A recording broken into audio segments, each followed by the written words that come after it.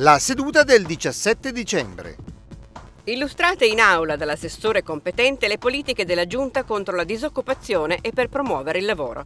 Il Consiglio regionale ha poi approvato a maggioranza l'esercizio provvisorio del bilancio fino al 31 gennaio, la modifica dell'addizionale IRPEF e il bilancio di previsione 2014, triennale 2014-2016 dell'Assemblea regionale. Il dibattito con la discussione e la votazione degli atti di indirizzo sul lavoro è proseguito nella seduta straordinaria del 19 dicembre.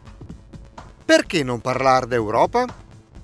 Il Consiglio regionale del Piemonte, consulta europea con l'Università di Torino e la Fondazione per il Libro, ha organizzato un progetto sull'Europa che si snoda tra il 2013 e il 2014.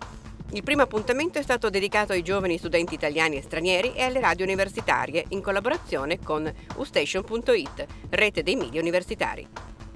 Ospitata al nuovo campus universitario Luigi Einaudi di Torino, perché non parlare d'Europa, ha riflettuto sui diversi linguaggi di comunicazione sui temi europei partendo dai new media, dal web e dalla musica. Notizie numero 4 del 2013.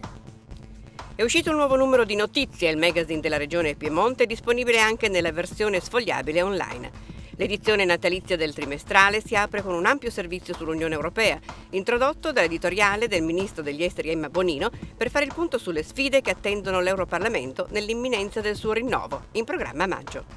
Sotto 18 Film Festival. Il vicepresidente del Consiglio regionale Fabrizio Comba e il componente dell'ufficio di presidenza della consulta Giovani Davide Saitta hanno consegnato al cortometraggio Hop dell'Istituto Pascal di Giaveno il premio consulta regionale dei giovani nell'ambito del Sotto 18 Film Festival.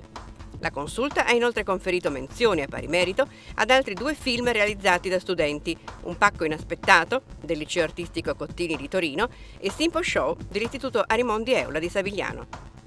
Lezioni per studenti. Proseguono gli incontri con gli studenti per i concorsi scolastici banditi dal Consiglio regionale. A Torino l'Istituto Grassi ha ospitato una conferenza sul progetto di storia contemporanea 2013-14 a cura del Comitato Resistenza e Costituzione.